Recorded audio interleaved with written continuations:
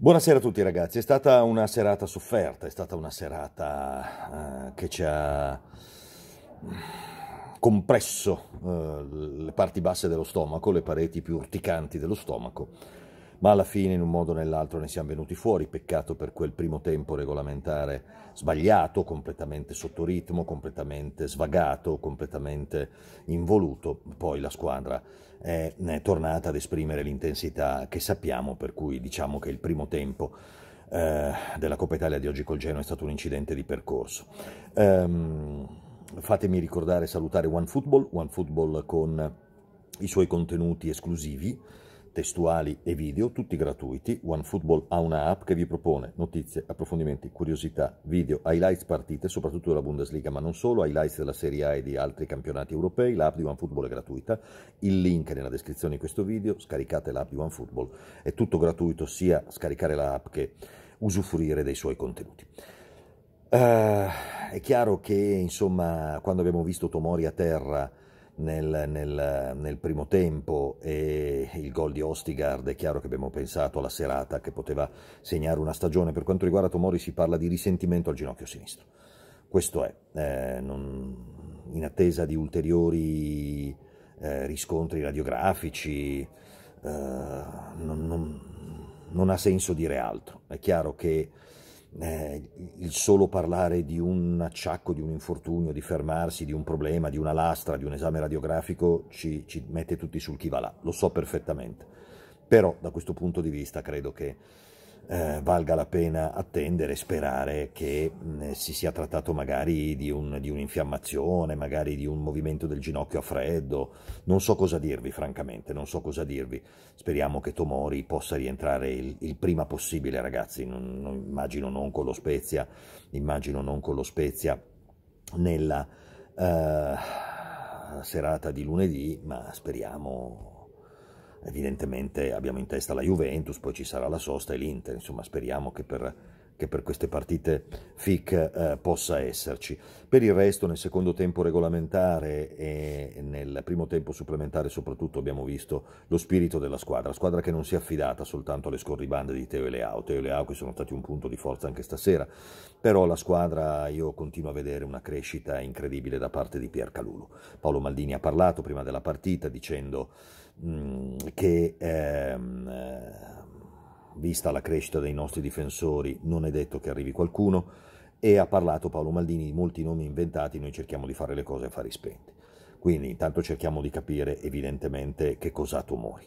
eh, però eh, al di là di che cosa Tomori e al di là dei fari spenti del nostro mercato, che sono, una, che sono, tradizionali nel nostro mercato, ne abbiamo spesso parlato anche qui, lasciatemi parlare un attimo di Pier Calulu, io vedo una crescita continua, esponenziale di questo ragazzo. Voi direte, mm, eh ma oggi il Genoa, eh ma oggi il Genoa aveva i suoi attaccanti, perché Caicedo l'ho visto tonico, destro è sempre una mina vagante, Yeboami è sembrato un buon giocatore, insomma eh, è entrato Pandev con la sua esperienza, ecco non è che aveva davanti proprio nessuno, eppure Calulu non si è limitato a fare il difensore, ha sostenuto la squadra, le ha dato anima, le ha dato, le ha dato scatti, le ha dato intensità, le ha dato, le ha dato linfa. E quindi questo vuol dire che ci troviamo di fronte a un, um, un giocatore vero, un giocatore della squadra, non a un ragazzo che viene a vedere cosa succede. Quindi, e ha ancora margini di miglioramento notevoli perché sono convinto che ancora sia per questa stagione che per le prossime due, Calulu la sensazione che dà è di poter continuare a crescere perché è un ragazzo intelligente, un ragazzo che mette a frutto, un ragazzo che,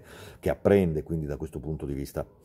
la speranza, la speranza è proprio quella. È entrato ancora bene Florenzi, eh, abbiamo visto in questi giorni messaggi social di Romagnoli e Calabria, eh, Romagnoli ha fatto il suo, eh, il suo compleanno mh, mm, tra le mura di casa, Calabria non vede l'ora di tornare, insomma speriamo che i ragazzi possano, possano tornare il prima possibile. Ehm,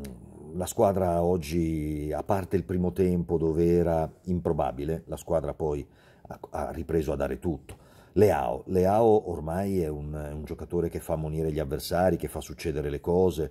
eh, che, mm, eh, che insomma diventa un pericolo costante per tutti gli avversari e il gol che ha fatto nel primo tempo supplementare ci dice che eh, non si limita soltanto a fare il suo movimento, cioè mh, mm, palla ferma, scatto, a saltare uno o due avversari, ma riesce anche a fare altre giocate. Già prima del gol aveva fatto un, un,